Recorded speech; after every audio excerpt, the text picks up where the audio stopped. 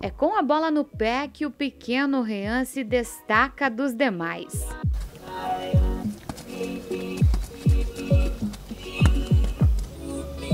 Apesar do tamanho e a pouca idade, o menino tem pinta de jogador de futebol. O corte de cabelo não nega, mas não é só isso. Mais do que aparência, o garoto tem talento. O negócio dele é marcar gol. Eu, um atacante. O Rian tem apenas 11 anos. Ele mora nessa casa, aqui no bairro Santa Terezinha. Mas foi com apenas 7 anos que ele começou a jogar bola. O motivo é muito simples. Bem ao lado da casa dele tem um campo de futebol. E foi ali que ele jogou pela primeira vez. Ele começou a treinar aos 7 anos. Começou no campinho aqui do lado de casa, né?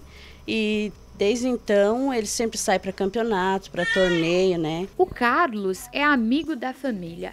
É ele quem descobriu o talento do Rian e foi o primeiro treinador do garoto. O Rian, ele é um atleta estilo Romário, né? Jogador. Sim, ele é matador mesmo, é um rapazinho que tem bastante potencial. E não é por menos que o menino foi selecionado para participar de uma peneira do time do Grêmio em Porto Alegre.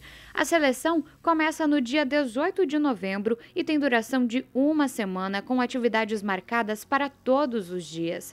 Caso o Rian seja selecionado, terá que se mudar para o estado gaúcho e terá a oportunidade de jogar e estudar por lá. Tô bem ansioso. Mas para participar da peneira, a família precisa reunir pelo menos mil reais para custear as despesas da viagem e estadia. Para isso, a família busca apoio por meio de doações. Quem quiser doar, né, para ajudar. É, também tem o Cleiton Costa também, né, que tá, quem quiser pode doar lá também, né, que aí ele entrega pra gente, né. O Carlos também, né, quem quiser entrar em contato com ele, né, a gente está agradecendo. É, o telefone é 99652 1008 e também tem do meu esposo, que é 99601 é, 8695.